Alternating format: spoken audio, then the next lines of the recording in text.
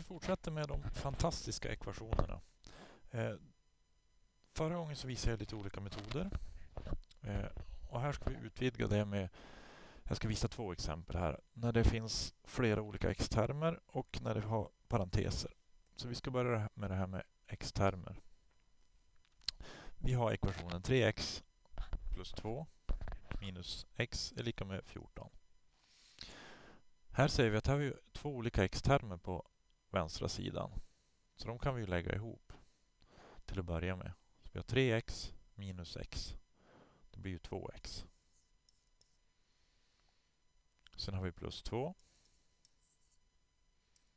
Och lika med 14. Så nu har jag förenklat vänstra sidan. Eh, och lagt ihop xen. Och nu ser det ut som det gjorde i, i något av exemplen på förra filmen. Där vi har vi ska ta minus 2 för vi vill inte ha kvar dem där, där och då tar vi minus 2 där. Så. Vi har 2x på den sidan. Vi har 14 minus 2, 12 på den sidan. Dela med 2. Dela med 2. Förkorta. Och vi har x lika med 6. Så det nya är egentligen det här. Härifrån. Nej, härifrån egentligen. Det känner ni igen nu. Eh, nästa exempel. Då drar vi in parenteser i det här också. Och det är egentligen att vi slår ihop det här med att multiplicera in i parenteser och ekvationer. Så det här kommer vi ihåg. 2 ska multipliceras in. 2 gånger 3x är 6x.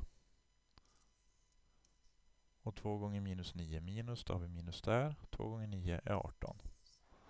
Är lika med 4 minus och så parentes igen.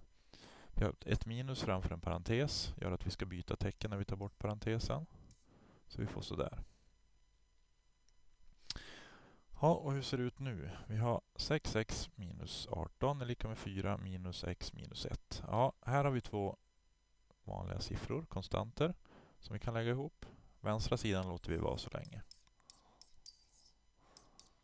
4 minus 1 är 3. Och så minus 6.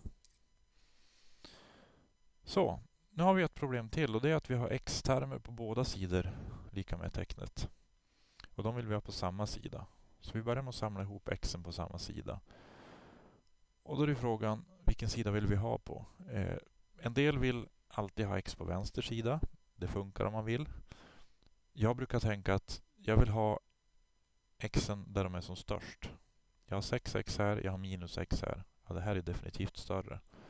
Så därför vill jag ta bort det härifrån. Och gör sådär. Så, försvinner de där. Vi har 6x plus x. Vi har 7x där. Minus 18 är lika med 3. För det som händer om jag samlar dem där, där de är som störst, det är att jag får ett positivt tal här vid x. Så x blir positivt. Vilket förenklar en del tycker jag i alla fall, men det är inget måste. Mm.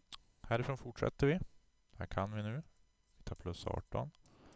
Plus 18. 7x är lika med 3 plus 18. 21. Dela med 7. Dela med 7. Oj. Förkorta. x är lika med 3. Sen har vi gjort en ganska invecklad ekvation här också. Eller löst en ganska invecklad.